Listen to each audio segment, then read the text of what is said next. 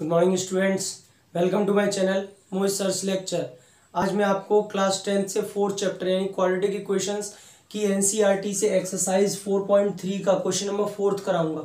देखिए क्वेश्चन कह रहा है the sum of the reciprocals of Rahman's ages in years three years ago and five years from now is one by three find his present question का मतलब है कि एक बंदा है रहमान।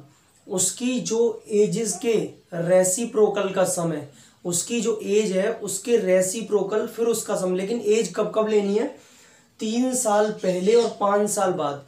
यानी कि रहमान की एज जो तीन साल पहले थी और एक जो पाँच साल बाद होगी, उन दोनों एजेस का पहले रेसिप्रोकल करना है, उसके बाद उनका सम करना है। सम ऑफ़ द रेसिप्रोकल्स ठीक है? रेसिप्रोकल करके सम करना है तो वो किसके इक्वल है? वन बाई थ्री के।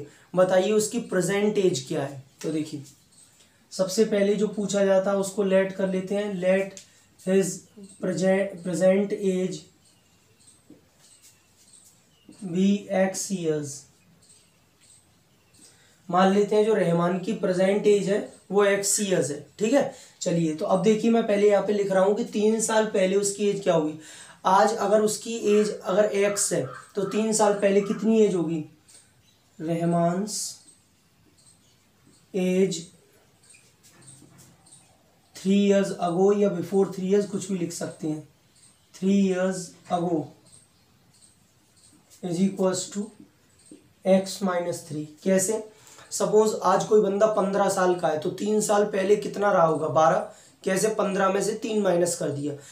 यानी कि प्रेजेंट एज में से माइनस करना है। तो प्रेजेंट एज उसकी एक्स है तो तीन साल पहले कितनी होगी? एक्स माइनस थ्री ठीक है? Rahman's age after five years पाँच साल बाद कितनी होगी? कह रहा है ना फाइव ईयर्स फ्रॉम नाउ पाँच साल बाद कितनी होगी? एक्स प्लस फाइव क्यों? अगर आज एक्स है तो पाँच साल बाद एक्स प्लस फाइव का हो जाएगा। अब according to the question A T Q according to the question question क्या कह रहा है? देखिए, ऐसे पढ़ा कीजिए आराम से।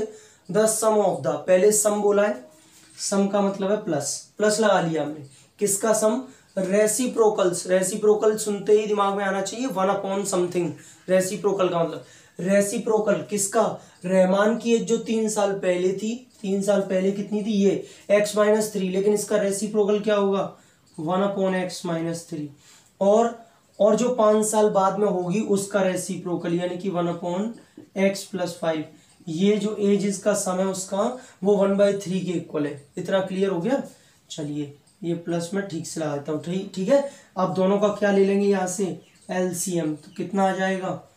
एक्स माइनस थ्री और एक्स प्लस फाइव इससे एक्स माइनस थ्री से डिवाइड हो गया। क्या बच्चा x plus five plus x plus five से गया। यानी कि एक्स माइनस थ्री बन जा। X minus three one by three इतना क्लियर है? एक्स और एक्स कितना हो जाएगा? यहाँ पे देख लेते हैं। टू एक्स फाइव में से थ्री गया। क्या बचा? प्लस का टू और नीचे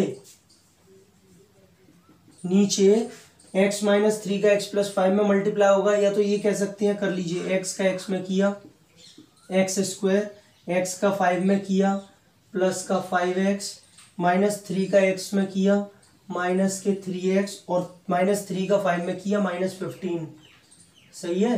इज़ इक्वल्स टू क्या चल रहा है? वन बाई थ्री चल रहा है. सही है? अब देखिए थ्री का मल्टीप्लाई मैं इसमें कर देता हूँ तो सिक्स एक्स प्लस सिक्स हो जाएगा. ठीक है? थ्री का दोनों में होगा।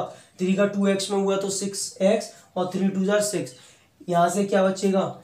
एक्स स्क्वायर कैसे बचेगा? अच्छा इस पूरे टर्म का हम किसमें मल्टीप्लाई करेंगे? ऊपर वन में ही तो करेंगे क्रॉस मल्टीप्लाई तो वन में करो तो वही आएगा। वन से कोई फ़र्क तो पड़ेगा नहीं।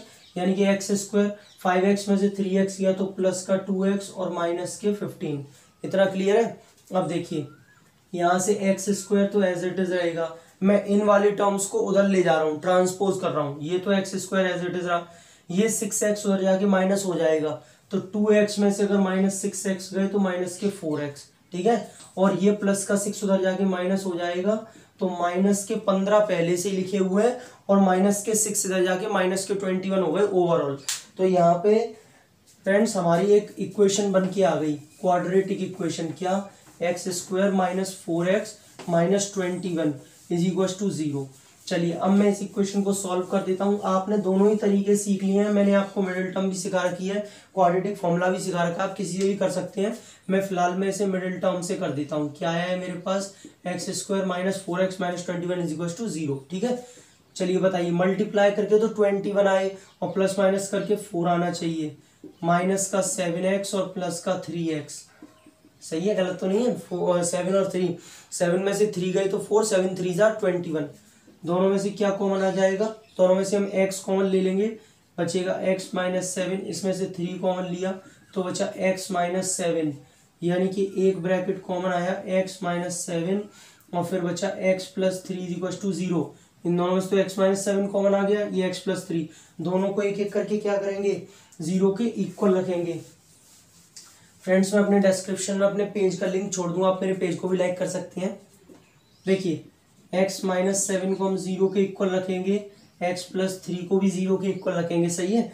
तो यहाँ से एक्स की वैल्यू एक आ गई सेवन और एक आ गई एक्स की वैल्यू माइनस थ्री अब आप सब जानते हैं एज कभी भी नेगेटिव में तो हो नहीं सकती है तो ये तो हम लेंगे ही नहीं, ठीक है? तो फाइनली आंसर क्या हो गया? Therefore x is equal to seven years यानी कि हमने एक्स को क्या माना था? हमने रहमानस की प्रेजेंट एज मानी थी, यानी कि रहमान की जो प्रेजेंट एज है, वो सात साल है सेवन ईयर्स क्लियर ये हम लेंगे नहीं, क्योंकि negative age can never be negative age कभी नेगेटिव में नहीं हो सकती, ठीक? तो फ्रेंड्स ये था इसका सोल्यूशन आई होप आपको समझ में आ गया होगा। अगर आपको मेरी वीडियो पसंद आई तो please like share and subscribe करना ना भूले। और मेरे चैनल को हिट करना ना भूले। बेल आइकन को हिट करना ना भूले, ताकि आप मेरी सारी वीडियोस देख सकें। Thank you